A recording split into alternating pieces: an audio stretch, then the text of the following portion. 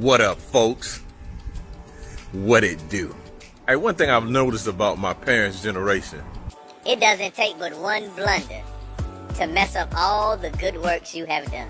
So my office is across the street from a gas station. Now my mom works inside of our office also. I'm not proud of this fact, but occasionally I walk across the street to the gas station. Because I'm addicted to Red Bull. And when I go to the gas station, I never ask my mother, does she want anything? Because I know she does. I'm trying to keep my mom around a long time. She don't need to be eating stuff out of the gas station.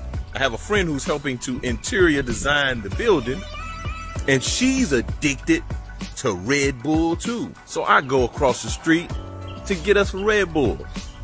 My mom is getting ready to go home for the evening and sees that I did not buy her a Red Bull, which didn't make any sense because she was getting off of work.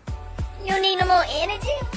My mother sees my act of benevolence and says these words, and I quote I guess I didn't raise you right. Now, I've never been to jail, I've never been arrested. I'm the quintessential Southern gentleman, very mannerable, a faithful husband and father.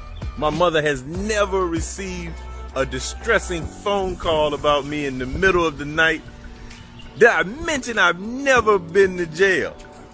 And because I didn't get my mother a bag of Funyuns, a little Debbie Swiss roll, and a Yoo-hoo, I must have not been raised right.